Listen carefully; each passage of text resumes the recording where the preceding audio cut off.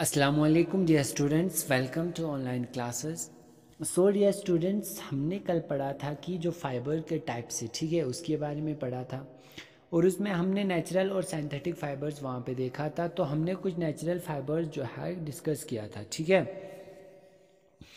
तो natural fibres में हमने जो है प्लांट्स के बारे में सबसे में पहले पढ़ा था कि प्लांट्स के कौन से पार्ट जो है, उसको फिर से प्लांट फाइबर्स को जो है सब कैटेगराइज किया गया था, उनके पार्ट के ऊपर पार्ट के अकॉर्डिंग डिपेंड करके, ठीक है?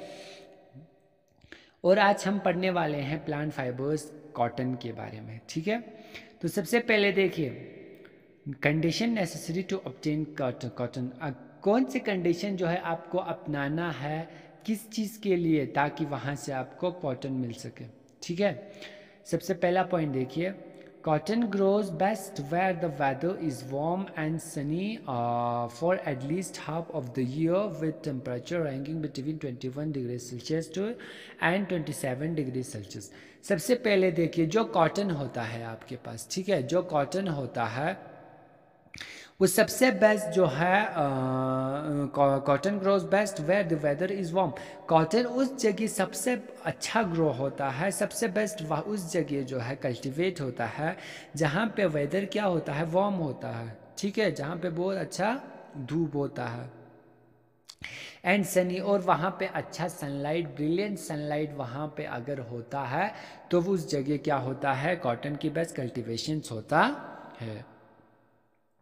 For at least half of the year with temperature ranking और पूरे जो साल में जो है हाफ़ ऑफ़ द ईयर ठीक है?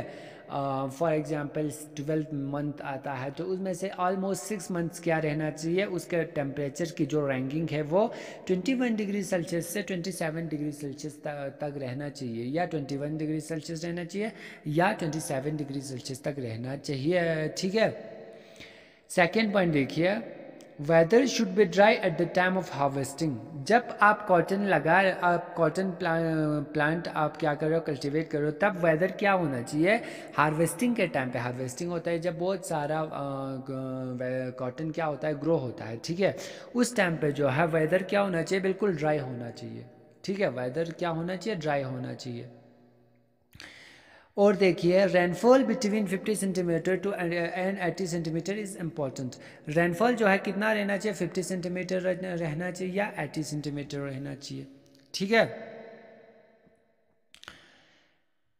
इसी तरह से देखिए black soil which has the ability to retain moisture is best suited for cultivation ठीक है कॉटन कल्टीवेशन कॉटन की कल्टीवेशन के लिए आपको सबसे अच्छा सॉइल कौन से सॉइल को आपके अंदर आपको कॉटन अच्छा ग्रो होगा? जो ब्लैक सॉइल है, उसके अंदर जो है आपको बस कॉटन कल्टीवेशन होगा। क्यों? क्योंकि वो उसका जो है अंदर एक एबिलिटी होता है कि वो मॉइस्चर को रिटेन करके रखता है। आपके जो एयर में जो वाटर वेपर्स होता है, ठीक है, जिसे हम नमी कहता है, उसकी कंसनट्रेशन को वो क्या करता है? यूज़ करता है कीप करके रखता है। ठीक है, पकड़ के रखता है। नेक्स्ट देखिए वेयर इज़ कॉटन ग्रोन यानी कॉटन आपको कहाँ कॉटन कहाँ पे ज़्यादातर ग्रो होता है, ठीक है? Cotton is grown and in abundance in China सबसे ज़्यादा कॉटन ग्रो होता है आपके चाइना में, ठीक है? देखिए, यहाँ पे आपको दिया हुआ चाइना साउथर्न यूनाइटेड स्टेट्स में होता है। एंड इन इंडिया इंडिया में भी ये कल्टी इसका कल्टिवेट हमें देखने को मिलता है।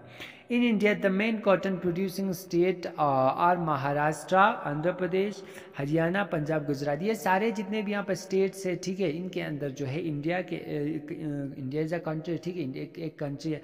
ये सारा महाराष्ट्र ये सब क्या है? हमारे स्टेट्स है ठीक है?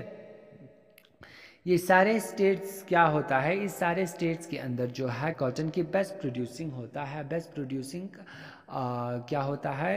कॉटन होता है ठीक है? तो आज हम जो है अपने टॉपिक को यहाँ पर रखेंगे। मैं आप लोगों को थोड़ा थोड़ा करके पढ़ा रहा हूँ, ठीक है? ताकि आप लोगों को अच्छे से उस ये समझ आ जाए, आप लोग अच्छे से इस चीज़ को पढ़ पाए। इसलिए मैं आप लोगों को थोड़ा थोड़ा ही पढ़ा रहा हूँ। और आप लोगों को लास्ट में एक बात बता दूँ यूट्यूब एग्ज़ाम स्टार्ट होने वाला है। अगर हमारा थर्ड चैप्टर ख़त्म नहीं होता है, ठीक है? तो हम यूट्यूब का एग्ज़ाम आपका सिर्फ़ वही तक होगा जहाँ तक आप कंप्लीट कर पाओगे, ठीक है? मैंने आप लोगों को स्कूल में भी कहा था कि भाई मैं लेसन्स में से भी आपको निकाल निकाल के कुछ ऑब्जेक्टिव क्वेश्चंस जो है वो मेंशन करके दे दूँगा, ठीक है? तो आप लोग प्लीज़ लेसन्स को भी अच्छे से वहाँ पे जो जो अच्छे टर्म है, ठीक है? इंपॉर्टेंट टर्म है, उनको जो है वहाँ पर आप क्या करेंगे? पढ़ लेंगे, ठीक है? ओके तब तब तक के लिए खुदा हाफिज़। कल हम फिर से एक लेक्चर के साथ आप लोगों के साथ मिलेंगे इन